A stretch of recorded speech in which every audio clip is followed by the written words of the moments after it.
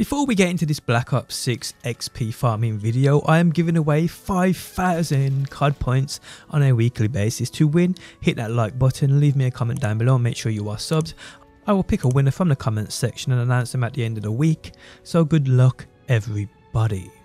So in this Black Ops 6 video, I bring you this amazing glitch or exploit which will allow you to farm endless zombies as a solo player. Yes, I've seen the infinite zombie glitch where, well, creators are calling it zombie bot farms or uh, XP bot farms. They do, however, require teammates or even as a solo player need split screen or two consoles or platforms, I'm not sure, and does take some setting up.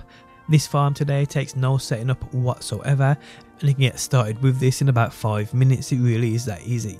How's it going guys, my name is DPJ now if you do enjoy this video leaving a like really helps me out and if you like what you see and want to see more, be sure to subscribe.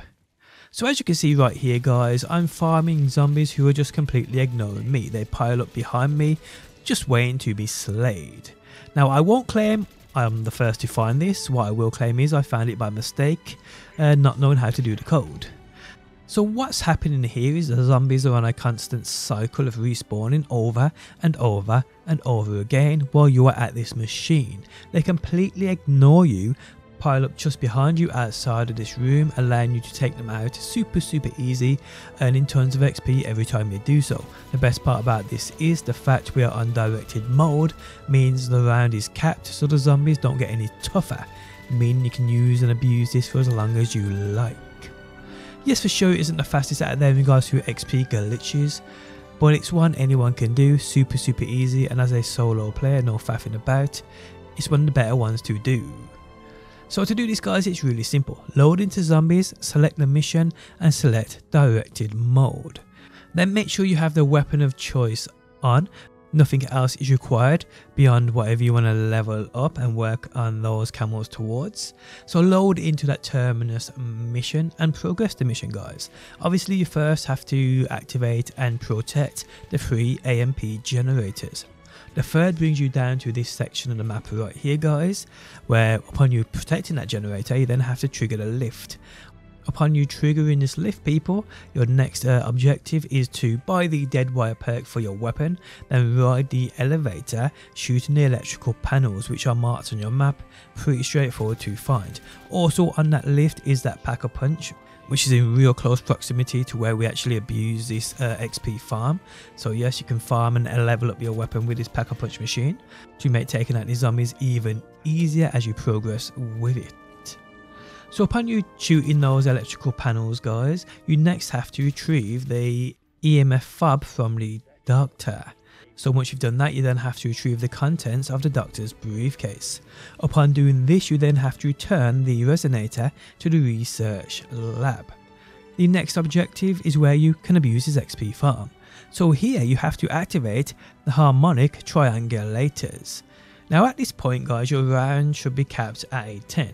It doesn't matter if they ain't, but 10 is a max level you can do this at because again, it's capped in that directed mode. Hence why the zombies never get any harder.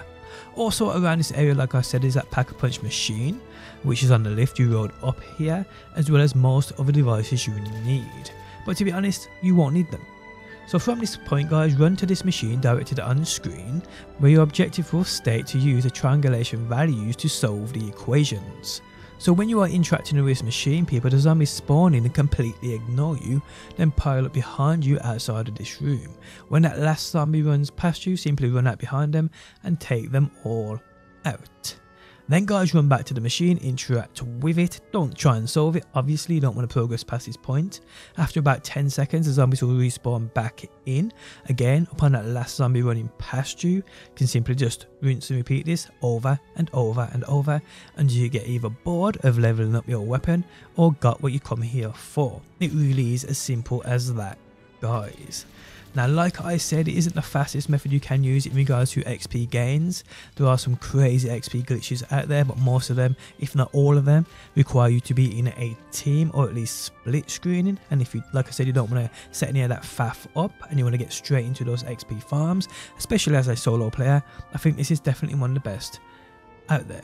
Now this can be done in a team, but it won't be anywhere near as effective because like I said, the zombies when they spawn in are limited uh, because the amount of them don't change, neither does their level. So doing this in more than one player, I mean you're just basically splitting the XP gains. You're going to be fighting to take out the zombies. So yes, only use this as a solo player in my opinion. Again, barely any setting up and a super super easy method in earning XP and you know doing other things like camos and more. If you do have those double XP tokens to use, you may as well take advantage of them while you can. Again, this is directed mode only. This won't work, I believe, in standard zombies. I mean, actually, I haven't really tested it. It may indeed work, but obviously the zombies are there will get tougher and tougher as the waves go up. So yeah, use and abuse this while you can in directed mode, where zombies are kept at an easy and easy standard, um, and you don't really have to struggle at all or even pay much of attention in taking them all out. It's a proper chill XP farm in my opinion. So yes guys, there are many, many XP farms they're going to nerf at the game and I have no doubt this form of XP farm will be one they do nerf. Now going back to the XP tokens, when we got the season 1 patch, you may not know this but they rewarded you all your previously earned uh, XP tokens from previous COD games. I myself had like 60 of these. They then quickly, later on that day, they hot fixed the game and removed these double XP tokens. But guys, you can actually still retrieve these and use them even in zombies. What you need to do here guys is back out to the main menu and then go into that Warzone select Warzone, go into solos, quads, duos, whatever, then you'll see bottom right of your screen will be that XP menu. Simply pressing that left thumbstick. Upon you doing this guys, you can trigger any of these double XP tokens. Upon you triggering these guys, you can then simply back out, go back into standard multiplayer if you want to play multiplayer and earn XP, or even zombies and use the glitch I covered today, or even glitches other people have covered, team ones.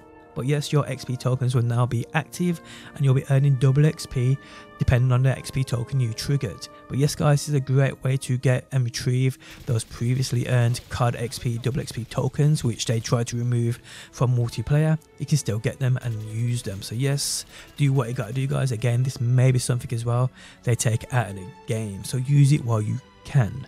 But on that note, the end of the video has arrived. If you enjoyed it, leaving a like really helps me out. If you like what you see and want to see more, be sure to subscribe. And hopefully, guys, I will see you on that next one.